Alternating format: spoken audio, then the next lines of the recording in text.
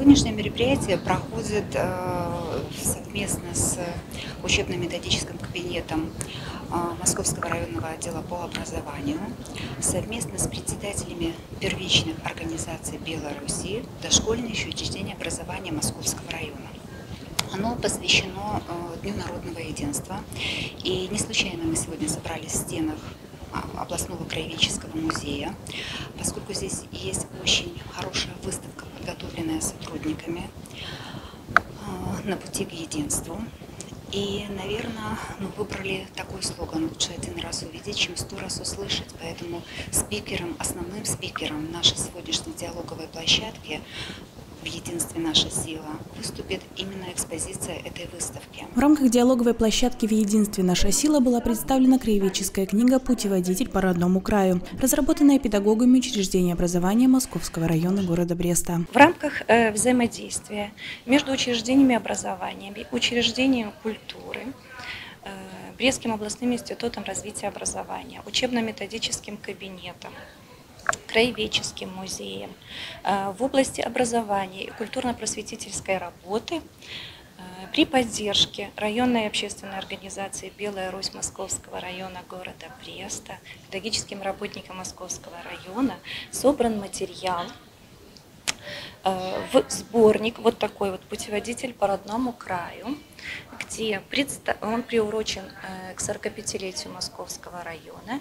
И здесь представлен систематизированный материал по изучению родного города, по изучению достопримечательностей, его истории, э, музеев города Бреста, исторических мест памяти, да, связанных с Великой Отечественной войной. Данный материал э, родители, педагогические работники могут использовать э, в воспитании, развитии детей дошкольного возраста.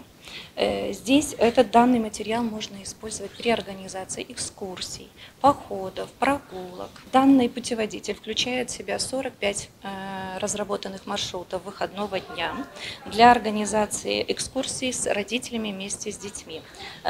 Здесь на каждой страничке размещен размещена краткая информация о объектах города Бреста. И есть QR-коды, где находится дополнительная информация. Это может быть текстовая так, информация, это может быть видео, фото информация, художественная литература, либо это игра, с э, которой дети могут вместе с родителями поиграть.